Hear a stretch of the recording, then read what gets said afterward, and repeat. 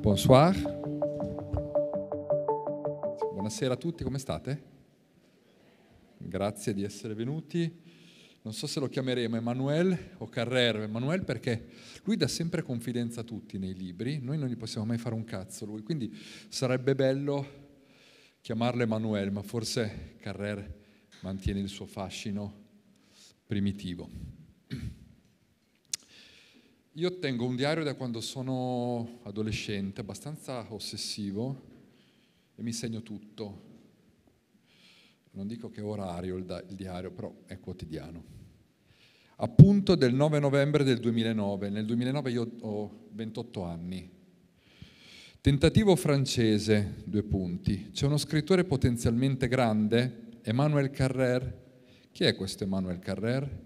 Forse assalto, scrivo. Emmanuel Carrer non, non, mi diceva assolutamente niente nel 2009, in Italia era un, quasi sconosciuto, ma io l'avevo sentito pronunciare in una cena da Niccolò Maniti, che aveva citato questo nome e cognome a un altro che non mi ricordo, forse era Emanuele Trevi, comunque lo citò e en passant disse, e lui secondo me è un grande scrittore. Ricordo di aver assolutamente perso quel nome e però a un certo punto, quando è stato il momento di tornare a casa, oh, mi, è, mi è venuto in mente e me lo sono segnato. E ho scritto quell'appunto del 9 novembre del 2009. 16 novembre 2009, viaggio in Francia, compro in aeroporto questo libro che sta avendo molto successo, D'autre vie que la mienne, vite che non sono la mia, in francese. Lo leggo e capisco che siamo davanti a qualcosa di completamente diverso, un po' rispetto alla letteratura italiana, certamente diverso dalla letteratura europea, certamente diversissimo da quelle che erano state le mie pietre miliari, che era la letteratura americana e la letteratura europea moderna e passata ancora indietro. 28 dicembre 2009, inizio ad avere voglia di, intervistar, di, intervistarlo, cioè di fare un assalto, ma io non scrivevo su nessun giornale, qualcosa su Vanity Fair, volevo assolutamente scrivere su un quotidiano perché mi dava la possibilità di arrivare in qualche modo, però nessuno mi voleva. Avevo esordito con due romanzi, il terzo stava per uscire, ma nessuno mi voleva. E allora, per varie ragioni che non vi dico, mi viene dato un indirizzo da parte di un ginecologo, non mi chiedete come mai frequento i ginecologi francesi, che mi ha detto che Carrer abitava all'inizio della sua via. Lui non era un ginecologo, era uno che bazzicava a Paris Review e poi da altre parti in Francia e ho questo indirizzo al 10 di Rue des Petits Hôtels, numero 10 civico della via dei piccoli hotel Gare du Nord, decimo arrondissement, Place de la République. Me lo segno il 10 febbraio del 2010, a 29 anni compiuti, telefono in Audi perché vengo a sapere che Vite che non sono la mia uscirà in Italia. E nessuno lo, lo fa, nessuno lo vuole fare. Quindi dico, quasi quasi vorrei andarlo a intervistare. Mi dicono, sì, vediamo, magari lo farai tu davvero, eh, ma tu scrivi su qualche quotidiano? No, non scrivo su nessun quotidiano. Allora vediamo perché forse us- usciranno altri quotidiani. Io vengo a sapere, è un nome che non farò qui, di un quotidiano che ha l'intervista su Carrer e che uscirà lui. Quindi io mi, potrei al massimo accontentarmi di una recensione, ma non sono un critico, sono troppo giovane e non ho speranze. Prendo un aereo e vado. Prendo un aereo da solo, vado a Parigi e mi fermo davanti a casa sua. Purtroppo in Francia i citofoni non hanno nome e cognome, hanno il codice per tutelare la privacy, per altre questioni. Mi fermo davanti a casa sua, guardo bene la foto su internet e faccio il romagnolo, cioè aspetto lì. A un certo punto lui esce la mattina presto e va a portare la figlia piccola a scuola e quindi io con la bambina in mano non posso fare niente. Sai, i rapimenti non si possono fare con i figli vicino. E devo aspettare che torni, ma non torna. Quindi è andato a farsi i cazzi suoi dopo e lo vedo sedersi in un bistrò dove poi lui mi, porterà anni dopo a leggere i giornali e cosa faccio? Vado. parlo un po' francese e gli spiego chi sono. Sono un ragazzo di 29 anni che non scrive sul Corriere della Sera, ma se lui mi concedesse un'intervista, forse potrei iniziare a scrivere sul Corriere della Sera. Lui mi spiega che ha già accordi attraverso l'ufficio stampa per un'altra intervista. Io gli dico, però io ho solo 29 anni, tu la darai a persone di potere. E lì Carrer sviluppa la prima persona singolare di cui è capace. Se ne frega del contesto, e applica l'io. Dice, vieni su in casa. Andiamo, andiamo in casa, mi porta su, mi fa sedere sul divano e mi dà due ore e mezza di intervista che io avevo preparato su vite che non sono la mia, dove mi racconta tante cose. Io scrivo il pezzo la sera stessa a Parigi e non so chi mandarlo. Dunque chiamo il Corriere della Sera e gli dico io ho questo pezzo, però sappiate che entro qualche giorno qualcuno uscirà con un'intervista che verranno fargli a Parigi dopodomani. Mando il pezzo e mi scrive il caporedattore delle, della cultura, mi fa, va bene, ti mettiamo in prima pagina. E così io ho iniziato la mia carriera come scrittore culturale sul Corriere della Sera. Sono ancora a Parigi, quindi esce il pezzo mentre sono a Parigi, e glielo porto nella buchetta Carrer. E Carrer lo legge perché legge l'italiano. Lo legge e mi scrive, trova il modo di scrivermi attraverso Enaudi e mi dice se sei ancora a Parigi vieni che passeggiamo. E facciamo una lunghissima passeggiata, io e lui, dove lui mi racconta che oltre a questo libro ne ha un altro di cui è molto più contento anche se Vite che non sono la mia rimarrà il suo libro preferito in assoluto tuttora, parlerà di un dissidente russo, che chiamerà Limonov, e di cui è un librone, mi diceva, molto grande ed era molto contento. Carrer oscilla tra l'essere un grandissimo bambino, un grandissimo bambino felice, ed essere un vecchio saggio giapponese di 99 anni. Questa dicotomia che ha è la stessa dicotomia che ha quando affronta le sue due visioni che ha nella letteratura. Quindi quando mi raccontava di Limonov io ho capito che aveva tra le mani probabilmente il suo capolavoro, che finalmente bilanciavano i due contesti più grandi, la prima persona singolare e la terza persona singolare, l'io e l'egli. Tutta la letteratura carreriana si basa, dopo il 2006, sul conflitto tra voler essere lui in prima pagina e il dover dare la pagina agli altri. Se non ci fosse questo conflitto di sgomitamento non ci sarebbe la tensione che fa passare nei libri di Carrer da una prima persona singolare a una terza persona singolare impastata come fosse un'unica persona singolare, che è definita la quarta persona singolare di Carrer. Non è un io, non è un egli, ma è l'intersezione tra le due, impossibile da ricevere. Ci hanno provato tutti, ci ha provato Rachel Kask, per esempio, ci ha provato Welbeck in estensione del dominio della lotta, ci hanno provato moltissimo autofiction, ma la, perso- la quarta persona singolare è esattamente quello che viene definito il gioco della collana flaubertiana, che è questa. Alcuni dei miei studenti che sono qui la conoscono, però Immaginate, qui mi ci voleva un archetto, immaginate.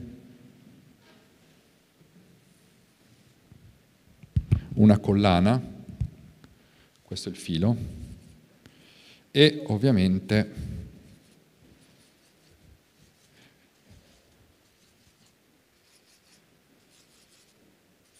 le perle. Nelle collane tradizionali e di letteratura tradizionale il filo non si deve vedere, è quel filo trasparente molto resistente. Ciò che viene valorizzato è la perla. E la perla, quindi, per non far vedere troppo il filo, è molto unita. Dunque, ciò che noi vediamo generalmente è il sistema gioiellare, cioè dei gioielli. I gioielli in Carrer sono sempre l'egli. Non mi fate she, er, quella roba lì. Egli, ella, è uguale. Ovvero l'oggetto del racconto. In Carrer ciò che si vede nella collana è l'egli, quello che succede anche nella letteratura dove si racconta qualcosa al di fuori dell'io. Ma improvvisamente il filo è ugualmente visibile rispetto all'oggetto. E il filo è l'io. Dunque la collana di Carrère è plurigioiellare. Da una parte abbiamo le perle, dall'altra abbiamo il filo che deve vedersi quanto le perle, quindi il filo ha una caratura preziosa esattamente quanto il gioiello, anzi esso stesso, essa stessa, il gioiello. Nella collana di Carrère non può mancare che il filo annoi più dell'egli e l'egli non può annoiare più del filo. Per questo le perle di Carrère, Limonov, tutte le vite che lui vampirizza, Philip K. Dick, Jean-Claude Roman nell'avversario, San Paolo nel regno, facciamo, la, la fidanzata in Facciamo un gioco, il nonno, la madre e la bisnonna in Romanzo russo. Tutte queste perle, quando iniziano ad annoiare nel testo, quando parla troppo di loro, quando diventano morbose, lui inserisce se stesso. E quindi cambia non solo veduta del personaggio, ma cambia angolatura della visione. Se questo è un oggetto da osservare, sviscerare, questo è un oggetto da sputtanare. Grazie al voyeurismo del filo, il lettore ha una sinuosità di seduzione, cioè è sedotto, e ha due marce. Conosce attraverso le perle e si riconosce attraverso l'umanità del filo. Dunque filo e perle producono una questione fondamentale, che è la quarta persona singolare, ma è anche l'umanizzazione del testo. Altrimenti avremo solamente un récit, un saggio, oppure un docu-saggio, oppure qualcosa di forma ibrida. Carrer invece ci tiene moltissimo a dire, a differenza di Wikipedia, che i suoi libri sono romanzi, non sono recit. I romanzi che mettono in Wikipedia sono semplicemente La settimana bianca, che è un romanzo puro, e altre questioni. Perché vi ho raccontato di come sono entrato in contatto con Emmanuel Carrer? Perché vi ha dimostrato e mi dimostra come il filo vieni su a un ragazzino, vieni in casa a un ragazzino di 29 anni, diventa importantissimo rispetto alla perla. Avrei già un'intervista tra due giorni con accordi. Quella manomissione, quella che lui chiama infrazione del reale, o effrazione del reale, ancora meglio, è per lui fondamentale per produrre trazione nella realtà, cioè per invalidare le regole ortodosse della realtà letteraria e quantistica in sostanza ovvero non t'annoi. Facendomi venire su, lui manomette delle, dell'ordine, esattamente come tutti i suoi libri sono manomessi in ordine dalla sua presenza all'interno dei libri. Se voi pensate alla carriera di Carrère, Carrère ha scritto, qui ne ho un po', ed è interessante vedere come uno dei suoi primi libri non è I baffi, ma è io lo definisco, io sono vivo, voi siete morti, è la biografia di Philip K. Dick. Okay? La biografia di Philip K. Dick è del 1993, quindi lui inizia con la perla. Era fissato sul fatto che K. Dick, allora Carrera ha fatto due lavori che non si possono dire nell'arco della sua vita importanti. Uno è il critico cinematografico non ho mai capito con tendenze a, a, destra o a sinistra politicamente. Si arrabbia se glielo chiedi. Io gliel'ho chiesto e si è un po' arrabbiato. La seconda andava in eh, Indonesia prendeva i costumi e li vendeva in Francia. Lo racconta il Limonov, mi sembra, questo pezzo. Quindi ha fatto queste due cose, esattamente come Sandro Baricco vendeva i biscotti. Forse questo non lo dovevo dire, però insomma siamo tutti in prima persona singolare. Ed è molto importante questo perché vi fa capire come è uno scrittore che è riuscito a, prima di tutto, a nascere in una famiglia altamente borghese e intellettuale. La madre era, è morta da poco, membro dell'Accademia francese, segretaria. In secondo luogo lui si è dovuto togliere di lì, rimanere nel contesto culturale perché lui era nato per fare quella questione e ha iniziato a lavorare sulle perle. Quindi su Philip K. Dick, che era una delle sue passioni giovanili per il cinema e per la fantascienza. Però il vero, poi ha scritto Buffy, che è sempre una questione legata al cinema, ma la vera mosca bianca di Carrer è del 1995 ed è la Semaine de Neige, cioè la settimana bianca, che è un libro della Madonna in cui si racconta come fa, fa, farà poi Shamalaya in Sesto Senso e The Village o The Others, cioè con il ribaltamento della prospettiva, l'alienazione di un ragazzino che va alla settimana bianca e si porta dietro le violenze allusive che non può dire a nessuno. Come fa ad esprimerlo? Attraverso l'enursi notturna, cioè si piscia addosso. Carrer prende questa questione e la sviluppa in questione in terza persona singolare, anche se ha delle punte di prima, ma senza mai mettersi dentro. Romanzo puro, incredibile. Carrere del 57, questo libro esce nel 95, quindi ha circa eh, 40 anni, meno. Sembra sia fissato lì. Poi succede qualcosa, come è successo a Starnone, che ha detto che scriverà solo in prima persona singolare, conosce Jean-Claude Romand. Cioè, nel, nel, momento in cui lui sta scrivendo Vite che, e io sono vivo, voi siete morti, scusate, la biografia di Philip K. Dick, lui conosce Jean-Claude Romand e esattamente l'incipit dell'avversario è la mattina di sabato 9 gennaio 1993, mentre Jean-Claude Romand uccideva sua moglie e i suoi bambini, io ero a una riunione all'asilo di Gabriel, il mio figlio maggiore, insieme a tutta la famiglia.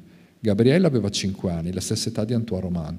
Più tardi siamo andati a pranzo dai miei genitori e Roman dai suoi. Dopo mangiato ho ucciso anche loro. Ho trascorso da solo nel mio studio il pomeriggio del sabato e la domenica, generalmente dedicati alla vita familiare, perché stavo finendo un libro del quale lavoravo da un anno, la biografia dello scrittore di fantascienza Philip K. Dick. Quindi lui fa entrare la vecchia vita nella nuova, perché sa che l'avversario, dall'avversario lui non tornerà più indietro. È la storia, lo sapete forse, di un assassino e Carrera ha iniziato a frequentarlo andando in carcere, gli è costato sette anni di depressione a Carrera questo libro, e 12 scatoloni che ha sempre tenuto nel garage di Rue des Petit Hotel nell'attesa che Roman prima o poi venisse scarcerato, cosa che è avvenuto due anni fa e lui ha restituito i scatoloni direttamente all'assassino. Gli ho chiesto se avesse paura di rincontrare Roman e Carrera ha detto, per niente, Padu tu. Tutta una cosa già assorbita. La cosa che gli era rimasta era però il fatto che dovesse mischiare le perle, Jean-Claude Roman, l'assassino, la finzione che lui aveva messo sopra e il filo, se stesso. Se stesso, depresso o in fase depressiva, con i fantasmi della Russia e con la paura che la sua famiglia potesse essere disgregata allo stesso modo di Jean-Claude Roman. Da quel momento lì Carrer è Emmanuel Carrer. Prima persona singolare, terza persona singolare, quarta persona singolare.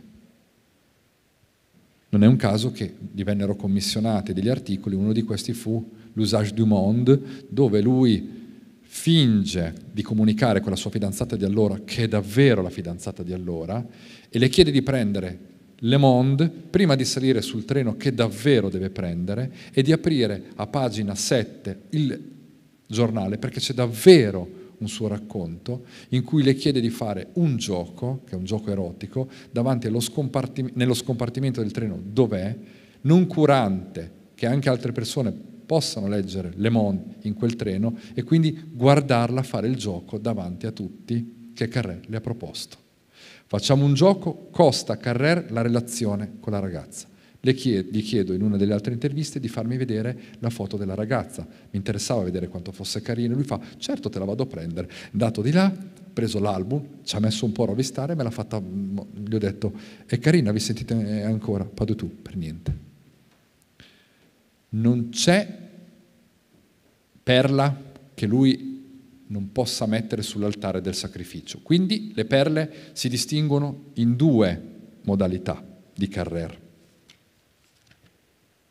Le vittime e i protagonisti.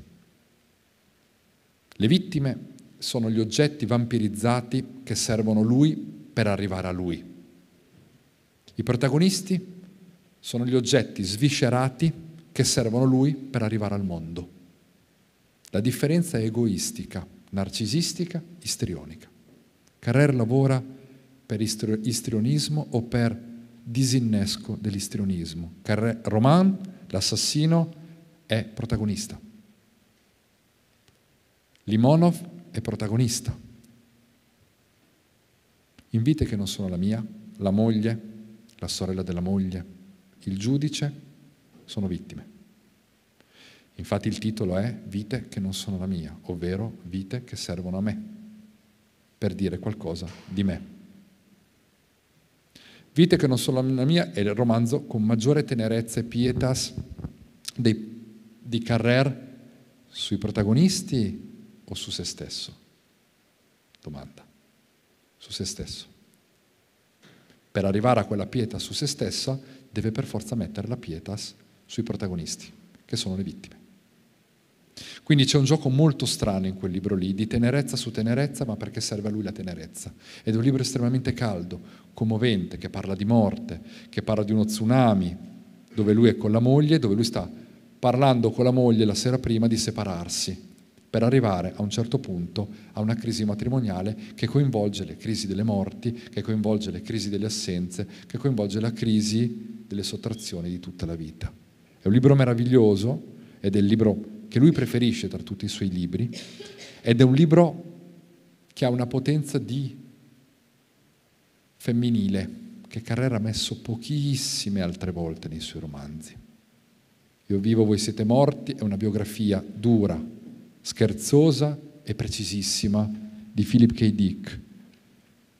La settimana bianca è un libro terribile e meraviglioso rispetto a un'infanzia violata. L'avversario è la comparsa della quarta persona singolare ed è del 2000 di Carrère. Costerà sette anni di depressione a Carrère. Questo non ve lo dimenticate perché quei sette anni sono anche il buio con cui lui inizierà a scavare nella propria vita. Infatti fa facciamo un gioco dove perde la fidanzata, e arriva un romanzo russo, che è un libro dedicato alle proprie radici. Carrer è ossessionato dalla Russia poiché un po' del sangue, lui parla russo, e viene da lì. Eh, Limonov è quella parte che lui di dissidente che voleva in qualche modo avere per prendersi la Russia e un romanzo russo che è il romanzo secondo me più non è noiosa la parola più personale per sé. Ha comunque una funzione tra sé, che va in Russia, e nonna e madre, che sono le perle in quel caso. Quel romanzo costa tre anni di non parlata tra Emanuele e la madre. Non si parlano per quel romanzo. Carrer fa leggere i libri alle persone che sono interessate, però molto spesso li cambia se loro non vogliono, altre volte tira dritto è stato costretto in yoga a, cam- a cambiarlo per la moglie all'ultimo perché c'erano motivi legali. Nonostante questo ho ottenuto alcuni pezzi che hanno rovinato, ma siamo a vite che non sono la mia e siamo soprattutto prima a un romanzo russo, che è un romanzo che in Italia avevano tradotto con La vita come un romanzo russo e poi è diventato semplicemente in Adelphi un romanzo russo. Ricordatevi che Carrer, fin quando è stato in Enaudi, non ha venduto niente in Italia eh, è passato in Limonov. Con Limonov è passato in Adelphi, ha venduto molto, ma perché forse era un libro che è esattamente la perfetta esecuzione della, prima, della quarta persona singolare. Limonov le perle e i fili si vedono nella stessa maniera. In vite che non sono la mia, secondo me, si vedono più le perle ancora. In l'avversario si vedono ancora più le perle. Lui era molto contento quel giorno che mi raccontava di Limonov perché sapeva che il filo non disturbava le perle e che le perle non avrebbero mai disturbato il filo. È un capolavoro, è il suo grande capolavoro, che ha portato Carrer in giro per tutto il mondo, dall'America alla Spagna. Carrer ha grande successo in Francia, in Italia, in Spagna e basta mi disse forse dovrei trasferirmi qua, perché in Francia è uno scrittore lettissimo, ma è controverso per l'uso della prima persona singolare, che è vista come pornografia oscenità dell'io rispetto a una tradizione, pensate a Zola e a tutti gli altri, che descrivevano naturalisticamente il mondo. Lui mette una prima persona singolare che ha nella prima persona singolare forse il suo obiettivo. Ernaud, Annie Ernaud, riusciva a mettere la prima persona singolare per avere la lingua come obiettivo. Ernaud non è mai andato al Goncourt, non l'ha mai vinto, ha vinto il Renadu, ma al Goncourt non vogliono le prime persone singolari così grosse, Carrère non è mai andato al Goncourt per lo stesso motivo, ha vinto il Renadu, che è, un, è il premio come il campiello. Questo è un motivo molto importante. Gli ho chiesto se davvero non gli interessasse vincere il eh, Goncourt e lui ha alzato le spalle come dire se verrà verrà, se non verrà non importa. Comunque, questo lo aggiungo io, lui è Emmanuel Carrer. Arriva Limonov che scuote l'Europa, il filo e le perle sono simmetriche e poi succede qualcosa. Quel qualcosa è legato alla depressione che lui aveva avuto dopo l'avversario, quindi a partire dal, 2000 fino al 2000, dal 2001 fino al 2008. In quegli anni lì aveva iniziato un libro che si chiamava Il Regno ma che non riusciva a finire. Il regno è un libro molto corposo che non riusciva a finire, per cui nel frattempo, per tecnica sua, lui iniziava il regno, continuava il regno e iniziava un altro libro, perché l'altro libro lo riparava dal fallimento del regno. Quindi ha sempre tenuto la tecnica dei due libri. Quando un libro finiva, lui doveva avere l'altro. Se un libro si bloccava, lui aveva sempre l'altro che andava avanti. E mi, e mi diceva che quella era parte della sua officina letteraria. Come parte della sua officina letteraria, la sentinella della virgola. Lui capisce che un libro è finito quando toglie una virgola e alla rilettura successiva gli viene da rimetterla e poi quella dopo la toglie e poi gli viene da rimetterla. Allora capisce che sta cincischiando e che il libro è concluso. È la virgola che dice a Carrer, il mio libro è finito, non è l'editore, ovviamente.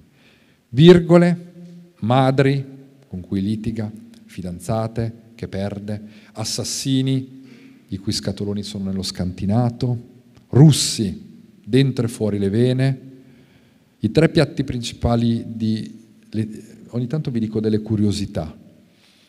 Le tre cose che gli piace, ho fatto Carrer eh, le tre domande di Umberto Eco, gli dissi dimmi un po' dove vorresti andare con budget illimitato e meta illimitata 15 giorni da solo assolutamente, era una domanda di Umberto Eco che ti faceva spesso, lui mi disse in Indonesia con un motorino a noleggio.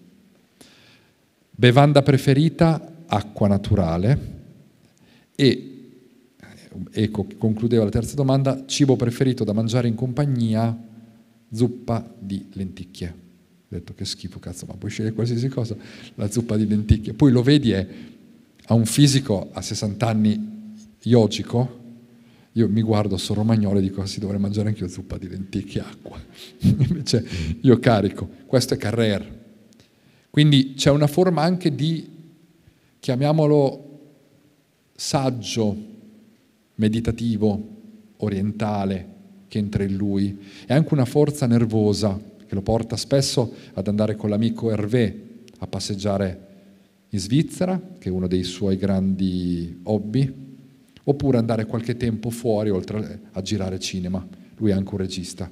Della parte di regia non parlerò oggi perché non la conosco bene. Il regno assorbe la depressione di Carrer. È un libro sulla depressione, è un libro sull'essere bipolare in parte, è un libro su quel giorno di ottobre in cui tentò il suicidio, tentando di impiccarsi, ma non lo fece, fallì, non si sa se fallì perché non lo voleva davvero fare o perché qualche, per qualche ragione non gli venne, però lui ha un tentato suicidio nella mente che l'ha ferito, che lo tiene, e il regno è la discussione attraverso San Paolo di quella che è la redenzione cattolica, cristiana, attraverso il principio laico di presenza del verbo. San Paolo porta il verbo attraverso una forma di fumettismo che ha addosso, è un avventuriero, è eroico, è brutto e fa la fine che fa, ma porta una religione. Questo interessava Carrer, però sapete che questo non può interessare basta, è una perla. Qual è il filo? La depressione che lui stesso ha. Purtroppo il libro ha assorbito un'altalenanza di nero con bianco. Le prime cento pagine sono di solo filo praticamente, poi arrivano grandi perle, quindi se dovessimo ricalibrare com'è il regno, è così.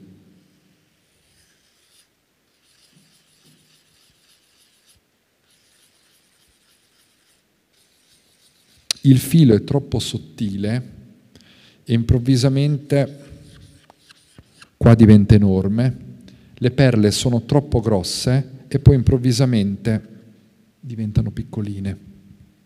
Quindi c'è una distonia nel gioiello questo lo rende, se vogliamo, espressionista, ma se vogliamo ci fa capire anche che non c'è l'armonia che lui ha sempre voluto, il limono. Perché? Perché la parte psichiatrica e psichica pesa più della parte psichiatrica e psichica che entra nel personaggio di San Paolo.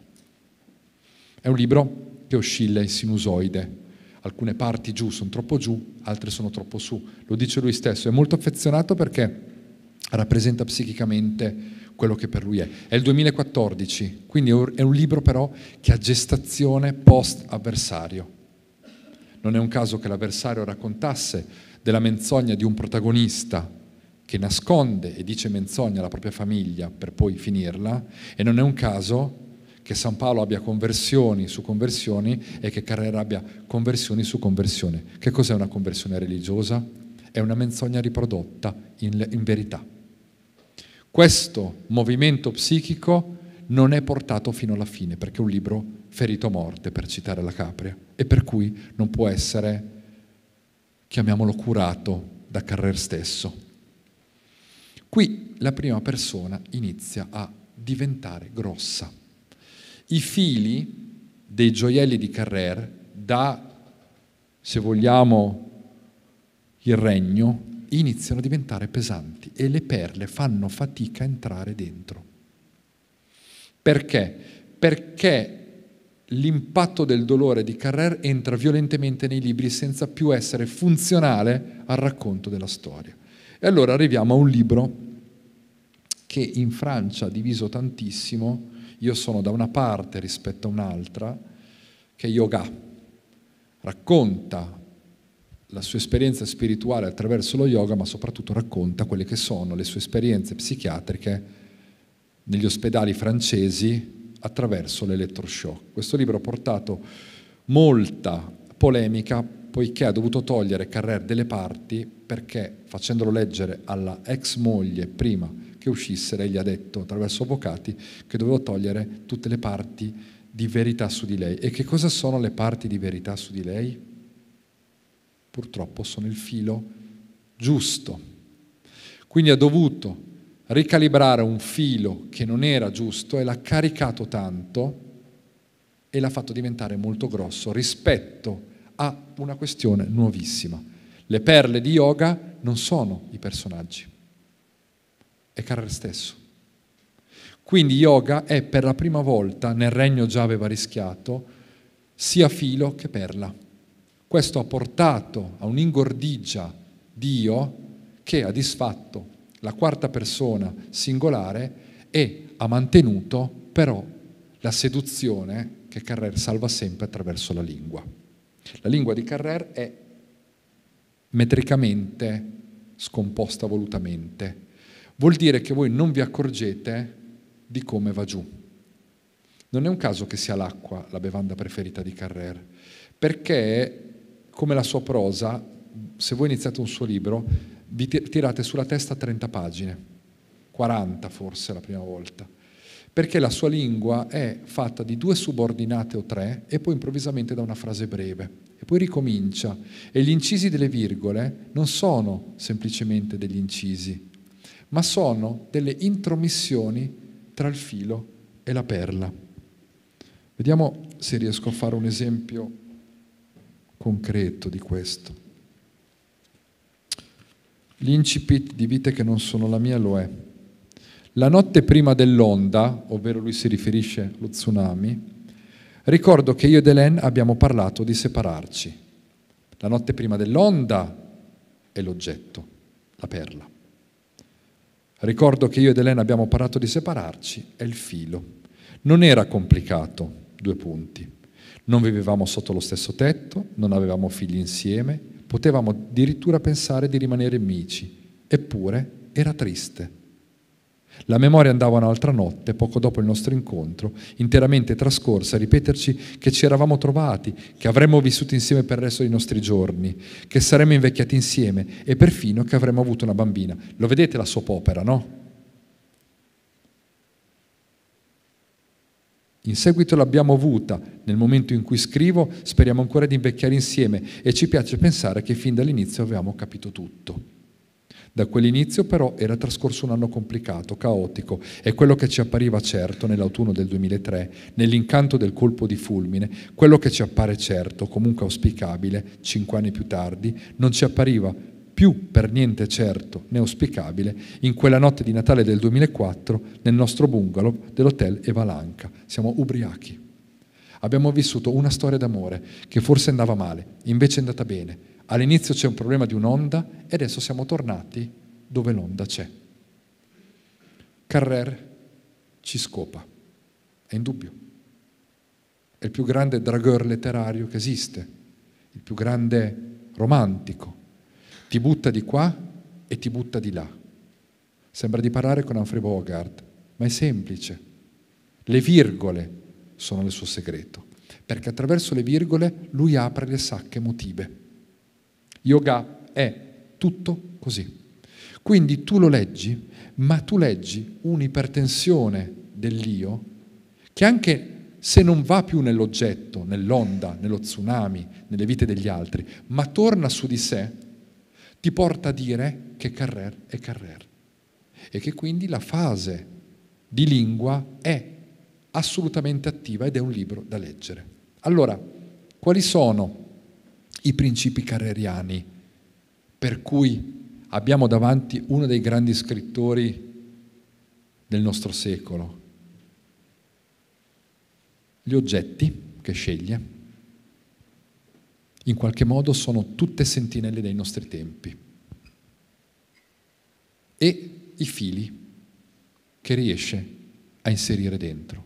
La moglie, ah, è divorziato, ovviamente, la figlia no, poco, è citata appena, ogni tanto, i figli poco, ogni tanto, la madre, quindi la famiglia di origine, qualche amico e le persone che incontra durante.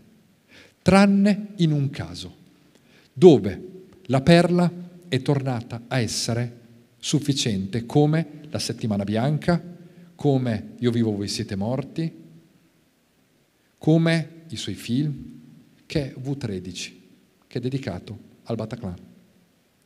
Quando Carrera ha iniziato a seguire il processo e l'ha seguito giorno dopo giorno, una delle questioni importanti di Carrera è come mangia, velocissimo, velocissimo, come sta negli ascensori, si gira dalla parte del muro, quindi se voi prendete un ascensore con lui, gli vedete la nuca. E come lavora ai libri, tutti i giorni, 8-9 ore al giorno e quando deve studiare per qualcosa che fa, lo fa in maniera talmente ossessiva che i risultati che ottiene non sono dovuti al pedigree che lui ha di natura, ma sono tutti dovuti all'ossessione del lavoro che ha. Bataclan ha seguito tutte le udienze, non andava in vacanza, non ha fatto niente per andare sempre lì. Ed è diventato talmente permeato e permeante all'interno del processo che lo salutavano tutti, compresi i giudici, compresi i secondini, tutti, comprese le famiglie delle vittime. E grazie a quella prima persona singolare di confidenza che aveva raggiunto, è riuscito a intervistare chi nessuno era riuscito a intervistare. Quindi la prima persona singolare di Carrer, proprio sua, che è, va bene, sì, piccolo Missiroli, vieni pure in casa da me, anche se non potresti, è lei chi è come vittima? Questo suo modo di effrazionare la realtà è anche il modo di poter entrare nella letteratura quando ancora non scrivi la letteratura. È un uomo di letteratura nella vita. V13 è il racconto di quei giorni del Bataclan, di quello che è stato dopo, delle sue vittime, ma perché lui non c'è? Come ha fatto a rinunciare al filo? Perché ha rinunciato al filo? Lui che aveva fatto ingordigia di fili grossi per il regno e per yoga. Uno per quello lì, ed è il motivo per cui aveva fatto indigestione e non ne poteva più. E due, perché è riuscito a capire una cosa geniale. Ha sacrificato l'io del filo per avere l'io all'interno del montaggio del libro. Come ha fatto Sergio Leone a fare C'era una volta in America? Come ha fatto Kubrick a fare Eyes Wide Shut, come ha fatto fare Bergman il posto delle fragole, lavorando sul montaggio e sottraendo la funzione della prima persona singolare. Carrer sa che se rinuncia al filo di cui è nauseato, ha solo una possibilità, che è quella totale e geniale di lavorare il sé attraverso la percezione che lui ha avuto in quegli anni di tribunale, in quei mesi di tribunale. Dunque, questo è un principio calassiano anche di Roberto Calasso, io non riconosco la visione del tribunale, del processo in linea orizzontale lineare, ma la spacco e la rimonto come io l'ho vista, senza citarmi troppo. Il mio io finisce esattamente in come io ho visto questa visione e questa visione appare più gustosa proprio perché è montata secondo una visione umanizzata e umana dei miei occhi. Non c'è Manuel, ma c'è il suo cervello nell'aver elaborato il trauma che tutti noi abbiamo elaborato. È un salto definitivo nella letteratura carreriana. Carrer è uno che riesce a mimetizzare l'io quando l'io è troppo grande in una funzione, in una scatola che lo rende ancora più grande ma non visibile, in questo caso il montaggio. Ho dato un soprannome a Emanuele che è l'Ernard, la volpe, perché da quando è bambino lui sogna che una volpe gli divori gli intestini, una volpe piccola c'è in vite che non sono la mia, torna anche in altri libri. E forse quella volpe è l'unica possibilità che lui ha di rimanere sempre sveglio rispetto alla realtà, perché lo fa essere ferito rispetto al se stesso e quindi cosciente che è un filo, e lo rende oggetto e oggettivato di quello che è il mondo che gli mangia gli intestini, mangiato e mangiante. Emanuele Carrer. Grazie.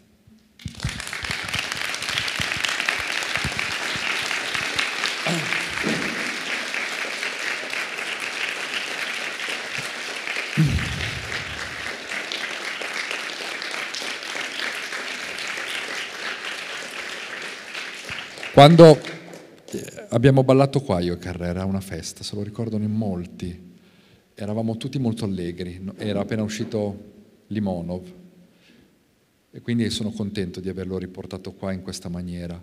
Ci sono domande da parte del pubblico o domande da parte, non so, si dice da casa, Mike buongiorno, non so.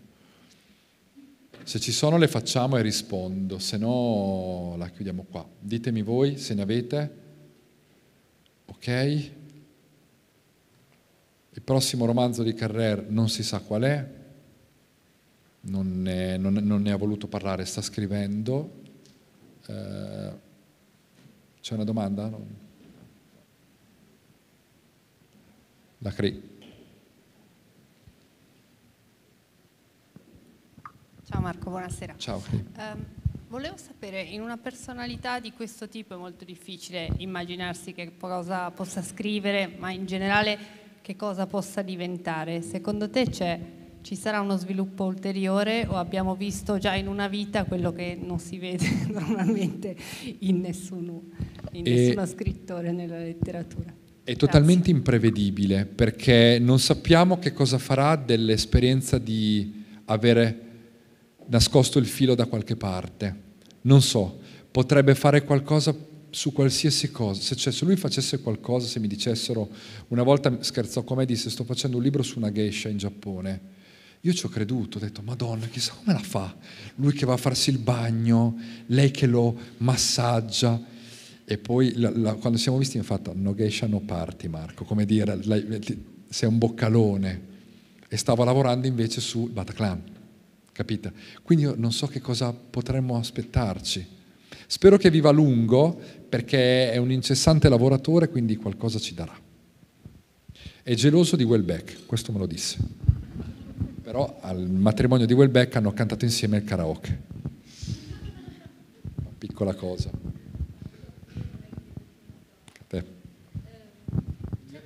Potete portare così si sente.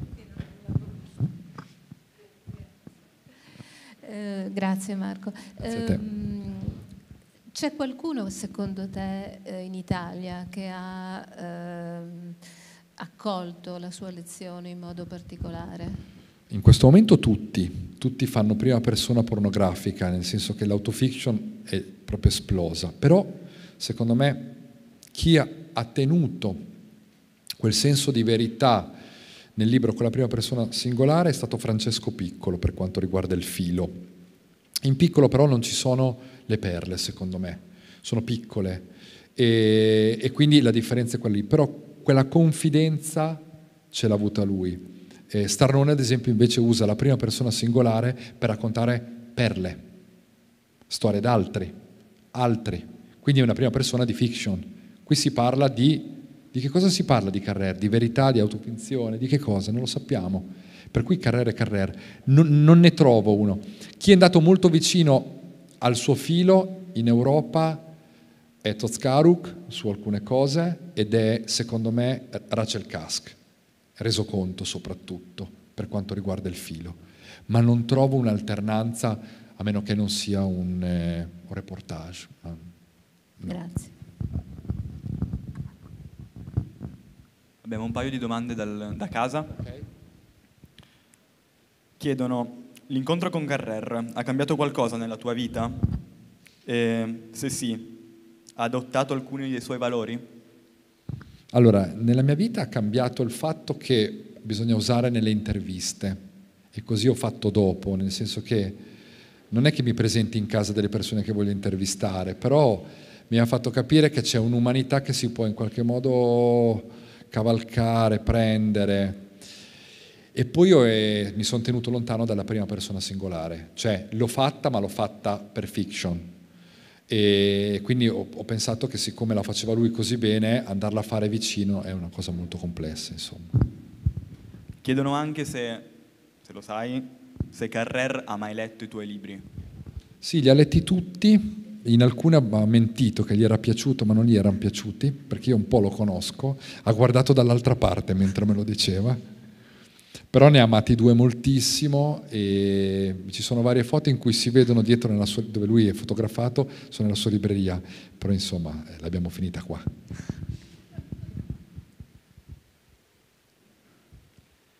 Ne leggo un'ultima, da quale libro di Carrer consigli di cominciare e se c'è un ordine particolare con cui consigli di leggere i suoi libri? Sì, c'è un ordine particolare, è postumo, vuol dire post pubblicazione, si comincia dall'avversario, si procede con Vite che non sono la mia, poi si va a dov'è? La settimana bianca e questa qui è la prima parur carreriana dove si vede uno scrittore che racconta lì e poi rac- si torna indietro sull'egli e poi si può andare dove si vuole, però l'importante è fare questa sequenza qui. Dopo la settimana bianca io consiglio sembrano quelli dei ristoranti che consiglio Limonov per capire poi com'è il sunto finale. Grazie. Grazie. Non ci sono altre domande? È stato molto bello. No, c'è di qua?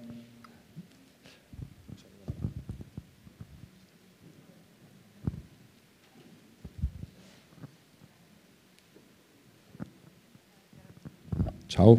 Ciao, allora io ho una domanda per la quale non so se esiste una risposta. Cioè, come calcolo o come de- de- definisco eh, i carati e il valore del gioiello di Carrer, della sua col- collana? È un equilibrio tra il filo e la grandezza delle perle o è più proprio um, qual- qualcosa che riguarda l'assenza di un filo quanto la presenza de- delle perle? È una domanda molto intelligente, credo che per quanto vedo io questa cosa sia qualità della perla, qualità del filo, grandezza della perla, grandezza del filo, incastro tra i due, quindi sono cinque variabili. Ok, quindi sia un concetto di proporzionalità Sì. quanto uno di qualità più, più- più che di grandezza, appunto. Il cosa raccontiamo del sé e dell'oggetto, il come lo racconti, quindi l'armonia tra il filo e la perla, e il come lo stai raccontando, quindi la lingua. Quindi è un fattore complessissimo. Infatti tentare di fare Carrer è come tentare di fare Faulkner. Sono due scrittori che uno vorrebbe imitare, ma appena ci metti le mani uguali è difficile, insomma. Grazie. Grazie a te.